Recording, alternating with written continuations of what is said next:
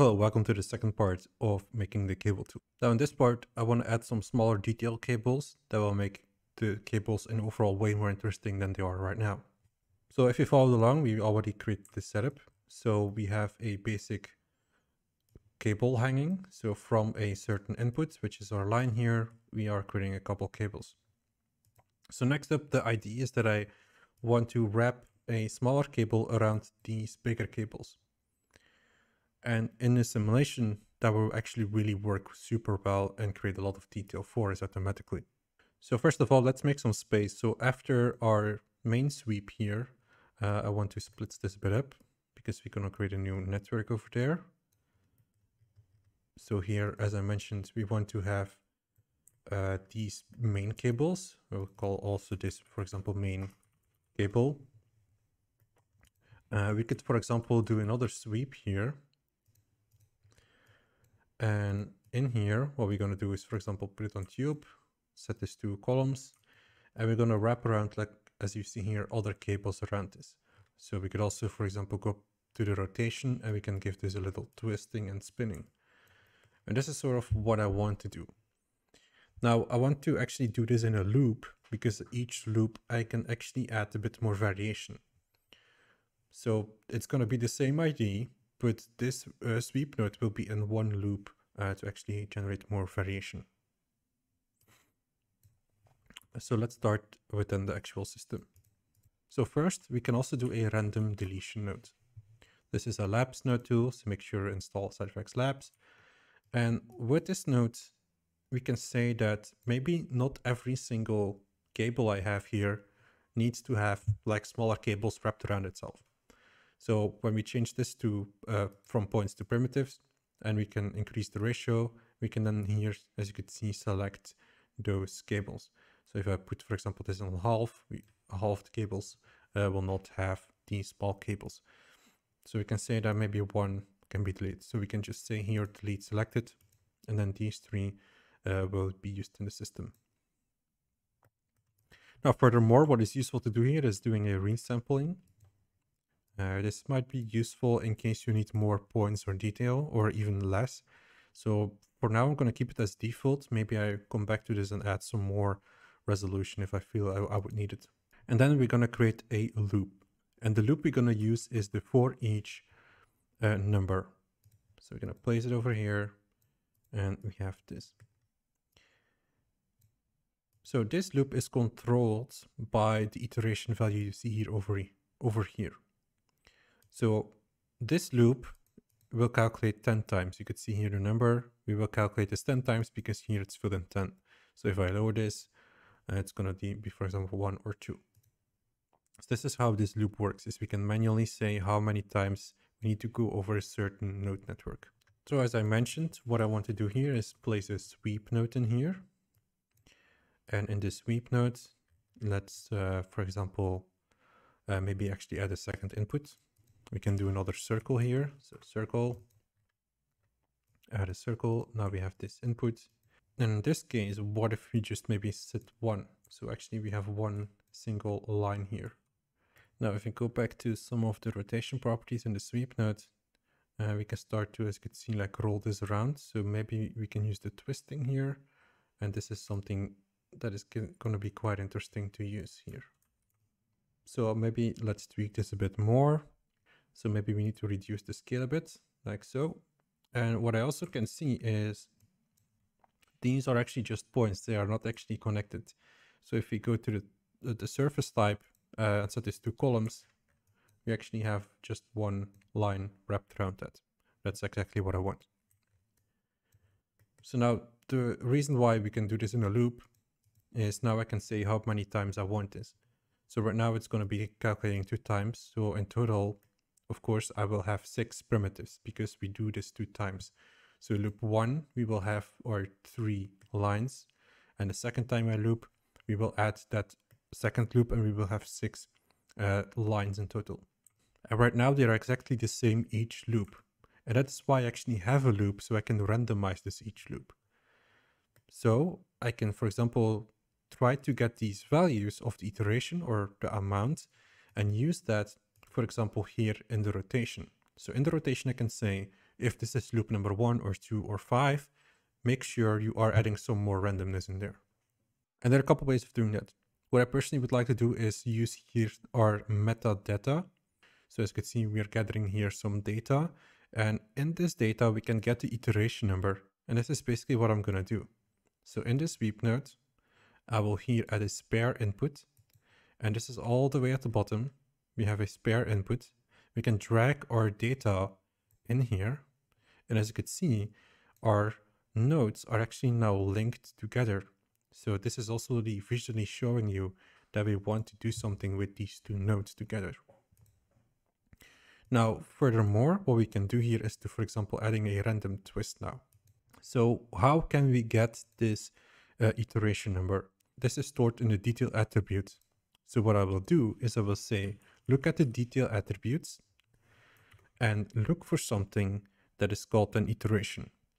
So the first value to fill in here is to say minus one and minus one is referencing to the spare input. So whenever I type minus one, this is referencing to our spare input. Then we need to say, what are we looking for? Which is the iteration number. Just make sure you're typing this correctly. And then we say the index, which is just zero. So we need to have these three values. So after that is done, we should actually now, as you can see, have more randomness in there. So each loop or each so each loop we're actually outputting now uh, a different cable as you can see. Now further we can play around with it more. Uh, a good idea is to actually say plus one uh, because the starting value will be zero. Then we can copy paste this value and we can for example use it over here in the roll. What we can also do is we can actually add a random function in front of it.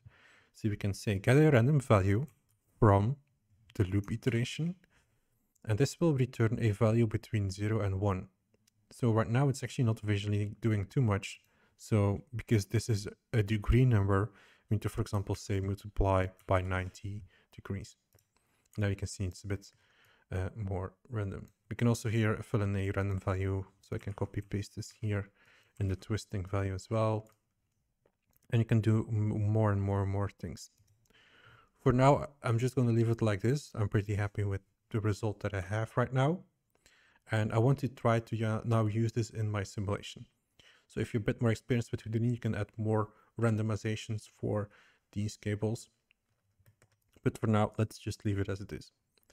Next step is merging the two cables. So I'm going to merge my large cable or the main cable with the small cables. So here we have these smaller cables now wrapped around quite recommended doing is also making a group node here to say what is what. So here, this is the main cable. So main cable, and this is here the small cables or sub cables. Small cable. So later on, I will always be able to get the data after I do a simulation. After I do this whole simulation again, I can get the data back again. So now let's just double check if we are getting the correct points here. That seems correct. We are getting still a random value.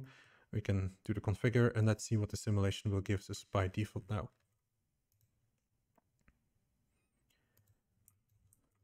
And as you can see, by default now, we are getting some very interesting results. So this looks already pretty good. It looks quite interesting, but it is not perfect. So one thing that I would say bothers me is that the cables don't really have thickness. So you can see that they are quite close to overlapping. So if I would now give this geometry by sweeping, so sweep, adding this to a tube and setting the tube to radius 1, so you can see that it's not perfect. Uh, what I would also often do is actually use a clean node over here. So clean the data because the simulation, as you can see, brings a lot of data with it. And I don't necessarily want to use all this data. So clean data, um, remove all attributes, but don't delete p-scale. Um, so that's what I'm doing here. So delete everything except from uh, the p-scale. And let's look at that. So as you can see right now, all the cables are quite similar in size. And I want to change that a bit. So even though this simulation looks already pretty interesting, I want to take this to the next step. And the way we are going to do this is we need to actually go back to our, to our configuration. So again, if we want to configure something or, or set something, we need to set it in our configuration constraints. And all the way at the top here, we actually have the thickness. And if you visualize the thickness, this is our thickness of the cable. So each cable or line is this scale. So that's not realistically what is happening here with my simulation. So what we need to do is we need to set attributes, like for example, the P scale attribute and use that in that configuration. So I already set a P scale value for uh, the main cable here, which is uh, here quite consistently around the value one. And for here, for my smaller cables, I don't have any P scale. So we're going to say create attribute. And we're going to create an attribute, of course, called P scale. And I'm going to give this the value uh, 0.5. You can make the smaller, bigger. It's up to you. Or you can even do random values. You can, for example, use the, you can, for example, uh, use this in the loop and then uh, do the same process before, like do a spare input and get random values. But for now, let's just say these are just smaller cables uh, at 0.5. So we now actually have for each of them a p-scale value. And I'm going to use this now in the configuration over here. So the thickness now is calculated uniformly. So we're going to change this to calculate varying. And this gives us the ability to now set a scaling value by attribute. And as you know, you want to use that p scale that we just created. So it's set p scale, and now we have that here. So as you can see, it's still quite small, and that is because our global scale here is set to 0.25. Uh, so let's set this to, for example, 1. And you can see that we now have a variation there. So you could increase this to something a bit higher, but of course, the higher you go, the more intersecting we have, which is not always nice for the simulation. So let's just set this to one for now. So for example, to test out if the p-scaling is working, I can always come back here, set this to, for example, 0.2. And as you can see now, these are way more smaller. So I can go back here and maybe start to increase that like so. And let's go back to our simulation, hit reset, and it's going to recalculate, and now I have a new result. So now if I would go back to my results here, it actually should give a bit better uh, result in terms of my scaling. So it's not not perfect, as you can see, some of the cables are doing a little bit weird. So we want to fine tune a few things here and there yet. So for our first test simulation, let's just maybe set the scale to one and let's see what that uh, result gives us. So we have our base result. Let's just play and that's looking pretty interesting on what is happening. Uh, we can also here in our simulation itself, uh, we can do some couple things like we can set a time scale, which might be useful here. We can do increasing of the substeps. Uh, we can also here visualize the thickness, so geometry, visualize thickness. So you could see if it actually has been following the shape somewhat nicely and let's see what we have. And I'm pretty happy with the results, what you see. So we have our main cables that are a bit thicker, and then we have these smaller cables going around it. So that looks pretty good. So I can do resimulate if I want, it should be the same here. And of course, the longer you, you go in your frames, the more things might look better or it might even get rid of some details as you can see like in the beginning here I had some of quite nicer details going on uh, over here so it's also a bit about playing with with the things uh, you have so I can always go back to uh, our configuration node let's uh, for example increase the stretch here. So this is the overall stretching. Maybe increase that a bit. Uh, maybe just set the bend to point uh, maybe set the bend here to 0 0.1, which is actually the default value.